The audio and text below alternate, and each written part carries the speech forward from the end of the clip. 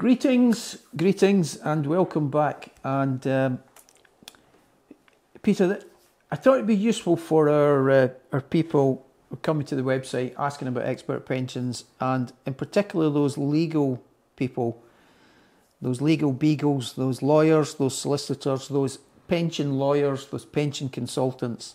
Uh, what do expert pensions consultants? How can we help these legal people with their claims, uh, either defending or, in fact, representing an individual who's maybe had uh, the wrong advice. What do we do? How can we help them?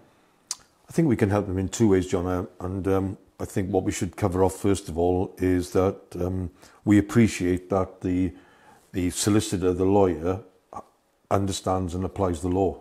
Absolutely. That, that's the first implication from what we've been discussing over the last several months, and in addition, the cases that we've been asked to comment on and provide expert witness statements for and an overview of. Yeah, no, absolutely, Peter. And I would echo that, and I think that's a really important point. Of the solicitors that we've dealt with, lawyers, pension lawyers, pension people, they apply the law. They are the experts in the application of the law. There's no doubts about it. They are the ones that are going to the mediation meetings. Um, they have got a very, very strong grasp on the on the law. That's for sure. Where so, do you think we fit? How can we work th- alongside them? I think then our expertise then branches out into a couple of different areas, but let's just concentrate on two. Um, so the first would be the technical understanding of the pensions legislation. mm-hmm. what, what, do I mean by that? So one of the cases that we dealt with was um, quite a rare situation these days, and that is enhanced protection. So we are in 2023, June 2023, and enhanced protection was available as at April 2006 with a cut-off guillotine date of 2009. Yep.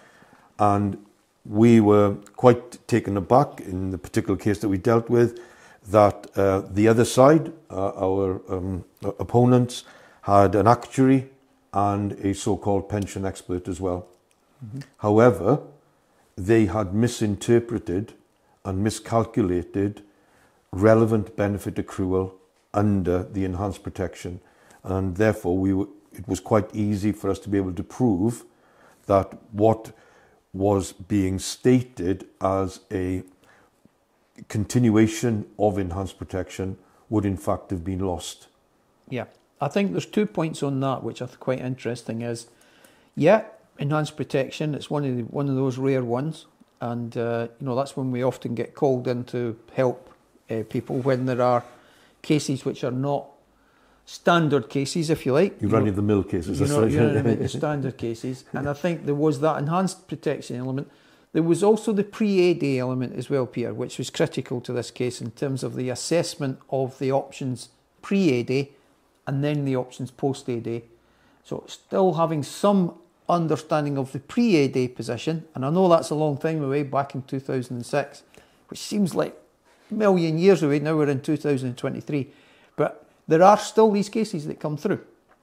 That's right, John. Uh, so yeah, absolutely. In terms of our perspective on the pensions legislation, I think we can help pension experts, pension legal experts, uh, understand from a different perspective, maybe more from a financial planning perspective or a pension planning perspective. We can help them understand the financial advisor's perspective on that. I agree. Second part, are we doing it now or are we in the next video? Yeah, no, we'll do it now, yeah. We'll do it now? Yeah. Okay. Because I think so, the two of them join up. That's right, yeah. Uh, another aspect that we are regularly asked to comment on would be a complaint is made against the advice that an IFA is has, has given and uh, the uh, PI insurer appoints a lawyer and they come to us to see if you, we, as a competent person, would agree with what advice had originally been given. What is it that we look for in those situations, John? Well, I would expand a little bit on what you were saying there because I think uh, one of the things that we can really help solicitors with is an assessment of suitability. So I very much see the legal guys and the way we work with our legal people as, you know, very much they're applying the law, they're dealing with the, the, the, the, the detail that's required. You know, these guys really need to be on their brief, as we've talked about. You know, these people are sharp, smart, hardworking, you know, they know what they're doing in terms of the law. I think where we can now provide is a little bit of a different perspective on how the legislation is applied in a financial planning context but I think critically, Peter, where we sit is assessment of the suitability of the advice that was given in the context of the law and COBS.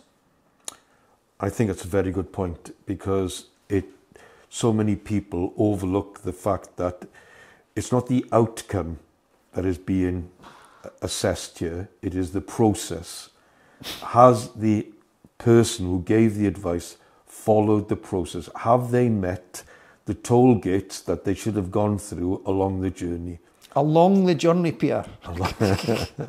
along the journey. Absolutely. That's so. a great way to put it, Peter, because if the gate is over there, yeah. but there's a number of gate posts along the way leading up, if you haven't gone through that process, we have no option other than declare the case is unsuitable. Yes, and, and we've seen cases, John, where the outcome may well have been suitable for the client. However, sadly and unfortunately, the evidence to support that outcome isn't present on the file. Absolutely. How much, how much percentage would you go as far as to say, Peter, on that? I know the percentage I'm going to say. What percentage would you say of the files that we've seen where you potentially would have agreed with the outcome, potentially, that we've had to mark down as unsuitable? Well, I know the figure, John, because I saw it, you wrote it down before. and I know that you're going to say 95%. Yep. But the, the point that has come out to us from our experiences is that sadly and unfortunately, it isn't on the file. And if it yep. not on the file, it didn't happen. There might be inferences um, in respect of something. So, for example, a, a, a classic one is inheritance. You know, somebody's going to inherit Really? When? And there's no, there's no, there's no data in respect of that. There's no confirmation of what the inheritance is. Is it stocks and shares? Is it a fixed asset? What, what is it? When are the parents going to die?